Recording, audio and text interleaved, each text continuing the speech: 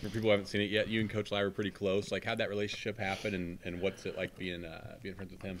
Uh, it happened. I can't remember the year, but we're at Southern Illinois having some, having some dinner, and a young lady walked in, and um, next thing you know, she's my future wife, and mm-hmm. and uh, uh, she knew him, and and uh, she was his tutor in college. Yeah. And um, and then I think the next year my she she was teaching, and his son, his oldest son CJ, was in her class.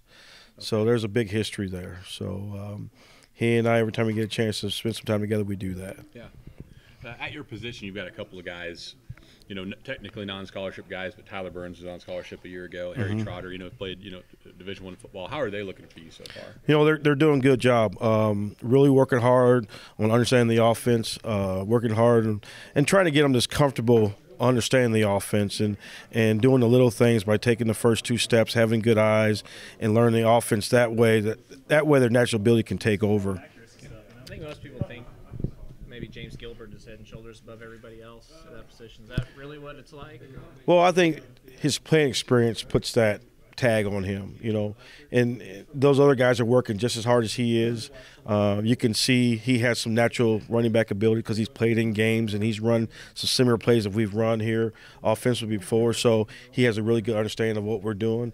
But like I said, you know, right now those guys are working hard and they're in uh, in the room together and they're all doing a great job of being good teammates and helping each other out. So that's the thing I want to see more than anything. I'm not worried about who's one, who's two, who's three. Just learn, get better every single day. We talked about getting this much better every single day, and uh, we can't whip the, the, world's ass in one day. So we're going to continue to work hard and, and do the base fundamental things first.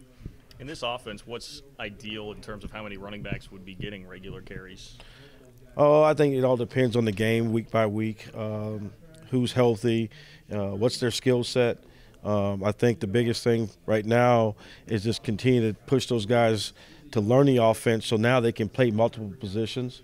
Uh, I think that's important. So now when you're going two tailbacks in a game, maybe three tailbacks in a game, guys can split out wide, play play some receiver, uh, use them in the jet sweep game and those kind of things. So it's all about the skill set and, and then how much they can learn.